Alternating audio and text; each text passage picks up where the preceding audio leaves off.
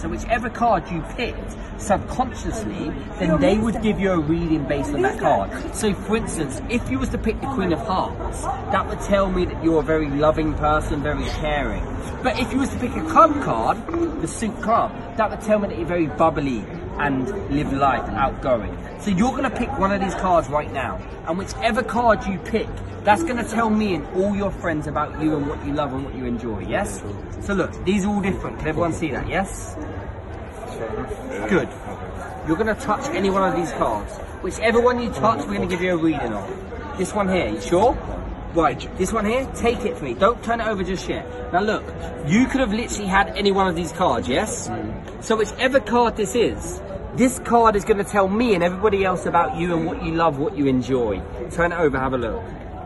Yo, yo, yo, yo,